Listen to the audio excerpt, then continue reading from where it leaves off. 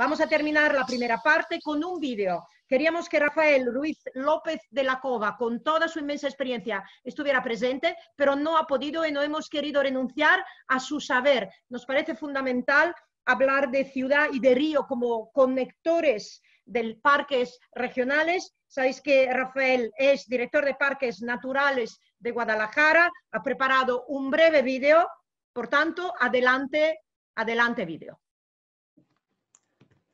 Prácticamente el 40% del territorio de la Comunidad de Madrid está integrado en la Red Europea de Áreas Protegidas, la Red Natura 2000, bien como zona de especial protección para las aves o bien como zona de especial conservación. Y eh, la ciudad de Madrid y su área metropolitana, por su ubicación, juegan un papel clave en, la conectividad entre estos espacios naturales protegidos. Así, eh, dentro de ese papel crucial en la conectividad, es especialmente relevante el papel del río Manzanares, que, cruza la, ciudad de Madrid en más de 80 kilómetros de, tramo urbano y eh, va conectando diversos espacios protegidos. A poco más de 20 kilómetros al norte de la ciudad de Madrid encontramos el Parque Nacional de la Sierra de Guadarrama, el último en, integrarse en la red de parques nacionales, en el que nace el, río Manzanares, en el ventisquero de la Condesa, junto a las Guarramillas, y que también, eh, pues este parque va a jugar un papel clave también en el sustrato que vamos a encontrar en los terrenos sobre los que se va a desarrollar el, el proyecto del bosque metropolitano, con arenas gruesas, sueltas, las granodioritas, que proceden de la descomposición de todo ese gran batorito granítico que es eh, la pedriza del Manzanares. Inmediatamente al sur, el Parque Regional de la Cuenca Alta del Manzanares, un extenso parque natural con fresnedas, encinares, rebollares en un excelente estado de conservación y que en su límite sur pues, llega a alcanzar la ciudad de Madrid, en el distrito de, de Fuencarral del Pardo, con paisajes agroforestales en un excelente estado de conservación. Y por supuesto, el Monte del Pardo también en el límite de, la ciudad de Madrid, eh, en, su zona norte, 18.000 hectáreas entre Monte del Pardo y Soto de Viñuelas en un excelente estado de conservación, de, encinar adhesado y que también está integrado en la Red Natura 2000 y que además es el refugio de una joya faunística que es eh, el águila imperial ibérica con nueve parejas nidificantes eh, justo en el límite de nuestra ciudad. Y a través del río Manzanares se produce la conexión con ese cuarto eh, parque regional, espacio protegido, que es el Parque Regional del Sureste, un parque que se desarrolla sobre materiales sedimentarios, miocénicos, de margas yesíferas, de yesos, que son el mismo sustrato que vamos a encontrar también en el proyecto del bosque metropolitano, en, la corona, la zona sur y, este de, este proyecto, y cuyo mayor valor ambiental son los humedales, muchos de origen artificial, procedentes de, antiguas eh, graveras, ya hoy totalmente naturalizadas, y que constituyen un hábitat muy relevante para la invernada de aves acuáticas y también para la nidificación de especies eh, muy eh, significativas como la malvasía cabeciblanca, como, como el calamón, aguiluchos laguneros, garzas reales. Y, bueno, es fácil preguntarnos cómo es posible que en una ciudad tan, tan densamente urbanizada como Madrid sea posible que, exista eh, la vida, que haya espacio para la biodiversidad urbana. Y, es increíble cómo las especies de fauna son capaces de adaptarse y encontrar sus propios nichos, sus ecosistemas en el ámbito de, urbano de la ciudad. Así, eh, los edificios funcionan como, eh, las fachadas de los edificios como cantiles de hoces, de cañones fluviales. Ahí vemos una imagen de la Gran Vía que podemos imaginar como un gran cañón fluvial eh, donde encuentran sustrato para la nidificación pues, especies rupícolas, vencejos, colirrojos tizones, murciélagos como Pipistrellus, pero incluso pues hasta ocho parejas de halcón peregrino que están nidificando en edificios de, nuestra ciudad, algo que, es sorprendente. Eh, pero también están los, pequeños espacios verdes, los pequeños parques de, distrito, que son oasis verdes eh, inmersos en, la ciudad, donde encuentran refugio y un lugar para la alimentación también, pues pequeñas aves, paseriformes, eh, fringílidos,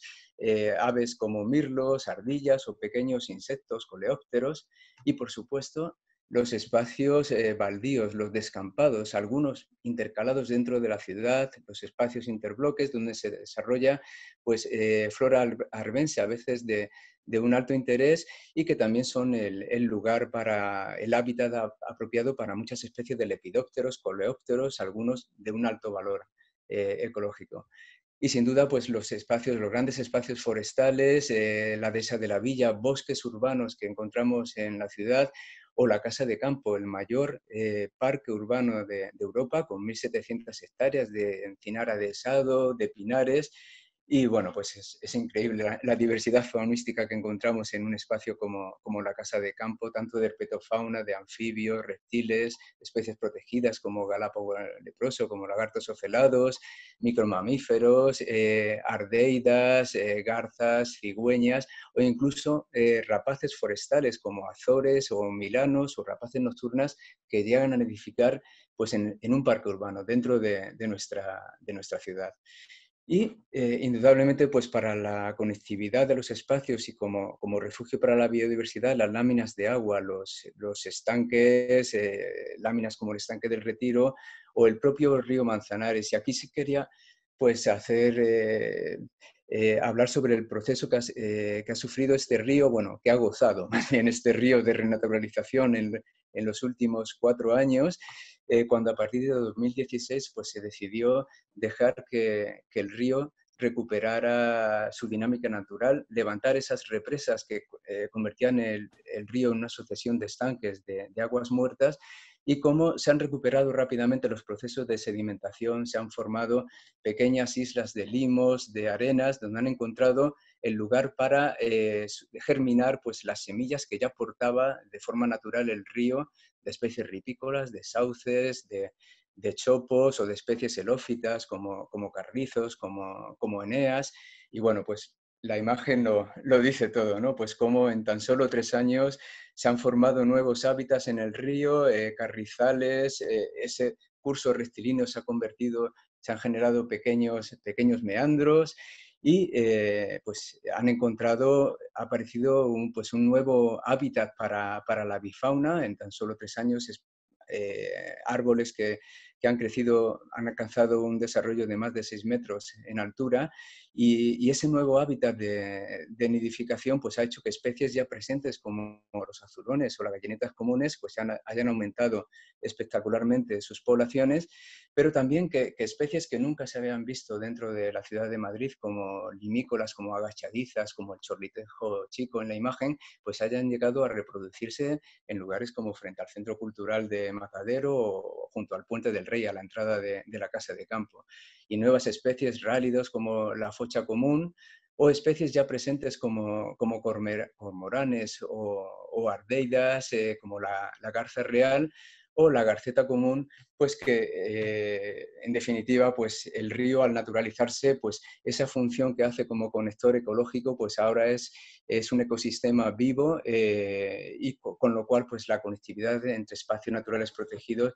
se ha visto muy reforzada.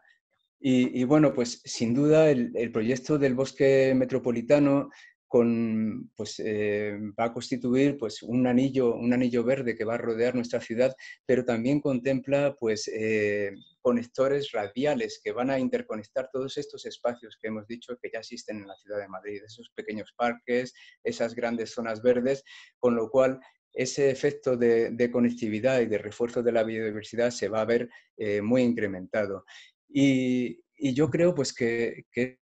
este proyecto eh, hay dos claves, que es eh, la multiplicidad de, soluciones, el contemplar no, simplemente un arbolado, un, bosque denso, sino contemplar espacios abiertos, espacios agroforestales, espacios agrícolas, incluso en ese proyecto que tengan cabida una diversidad de, soluciones porque eso va a generar una mayor diversidad de hábitats y, por tanto, pues eh, favorecer la, biodiversidad urbana. Y, bueno, pues eh, también creo que, es clave eh, pues esa multiplicidad también de objetivos, o sea, no solo quedarnos en lo ambiental, sino eh, que es, un proyecto que va a considerar también los beneficios sociales y también los beneficios económicos de generación de empleo verde. Y eso sin duda pues, va a contribuir a hacer de Madrid una ciudad más habitable, más afable, más saludable, pues un Madrid más natural. Bueno, muchas gracias por, por invitarme a esta jornada. Gracias a ti, Rafael. Eh, los principios fundamentales que has identificado en tu charla van eh, se van recogiendo en esa guía que estamos compilando, una guía ilustrada de todos los principios que van a complementar el pliego para que las concursantes tengan una información más eh, profunda.